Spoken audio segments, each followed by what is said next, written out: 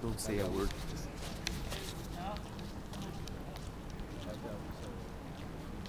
¿El, el.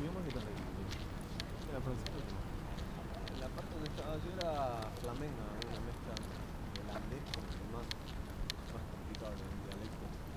¿Y qué tal defendió? ¿Tenía tu intérprete? La suerte es que ahí hablaban, aparte de esa, tenían la obligación de hablar francés, inglés y el dialecto de eso.